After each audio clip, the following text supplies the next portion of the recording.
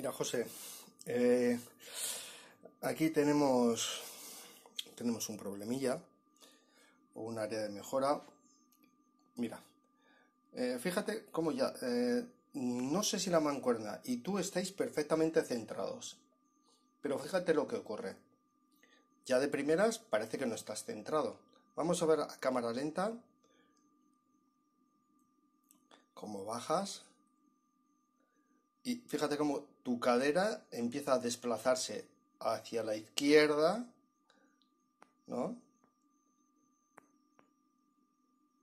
Y queda ahí centrada aparentemente con eh, la mitad de la mancuerna. Ahora nos vamos a fijar aquí en la barra. Fíjate cómo la barra está totalmente inclinada. Fíjate la distancia que hay de un soporte a la barra. ¿eh? Y fíjate aquí qué distancia hay. Se ve claramente que está la carga a un lado. Eh, lo que vimos en los diferentes tests de movilidad de hombro, de escápulas y demás, fíjate este codo donde está y este codo donde está. Eh, aquí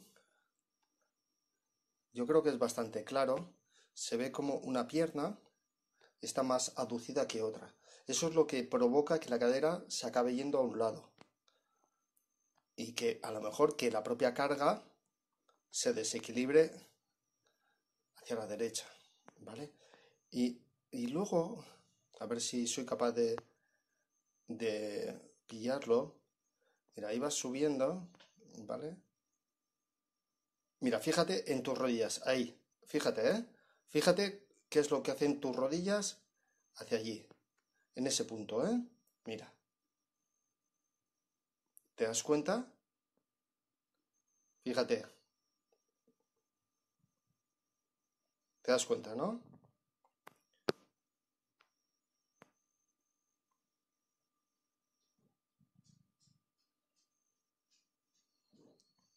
Mira. Como tus rodillas ambas van hacia allí, como tu cadera, vamos a ver, tu cadera va hacia esto,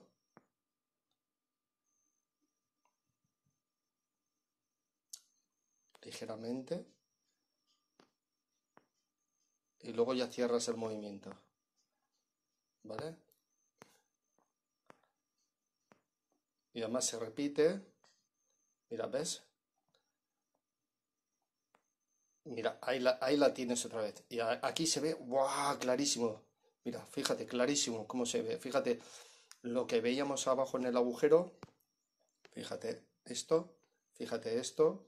¿eh? Cuidadín. No, no, no, puedes hacer tú eh, sentadillas eh, traseras pesadas con este patrón de movimiento y, y hay que ver qué se puede hacer para mejorar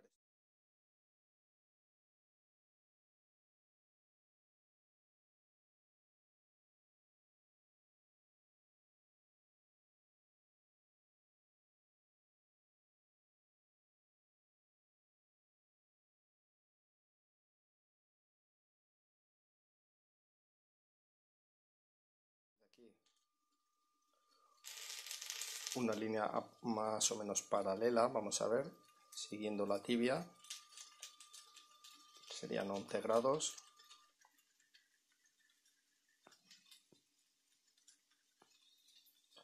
17 grados.